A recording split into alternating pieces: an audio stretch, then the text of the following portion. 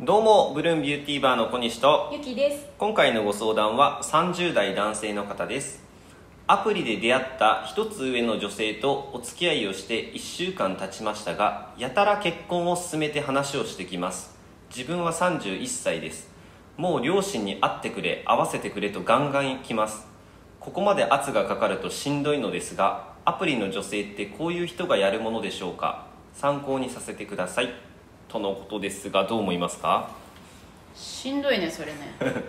まだ1週間ですからね。うん。ん。まあ向こうは向こうで何かしらのねうん。事情があるのかもしれないけど。まあ、32歳ってことですねそしたら。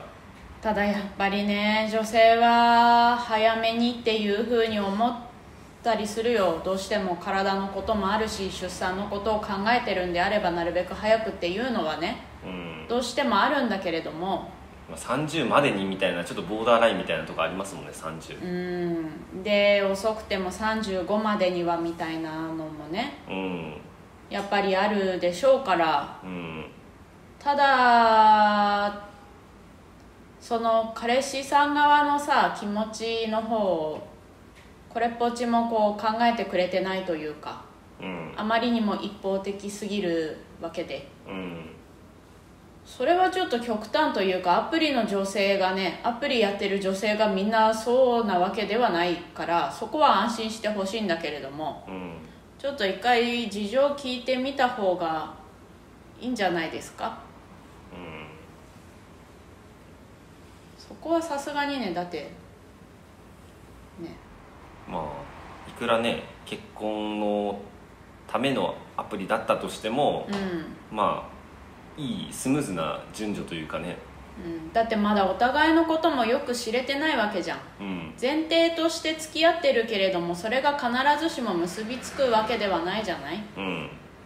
どうしてもやっぱり付き合ってみて受け入れられないこととかもあるわけだしさ。うん。そこをちょっと見極めてから結婚っていう風な流れが一番いいとは思うけれどももうなんか誰とでもいいからとりあえず結婚みたいな感じな人だから。まあ、多分その事前にアプリだからなんか年齢とか年収とか職業とかを自分の中で条件を満たしてから、うん。表面上でなんか結婚したい感がある気がします、うん。なんか結婚を求めて相手を求めてないような、そうね、うん。もうゴールが結婚っていう感じになってるからうん。ちょっとそういう人とはねじゃあ逆に結婚してからの生活はどうなるんだっていう話で。うん。だからそれはちゃんと話した方がいいしそれでなんか起こるようであればちょっとね。うん。うん2人で生活していくにはちょっと不向きなタイプですよ。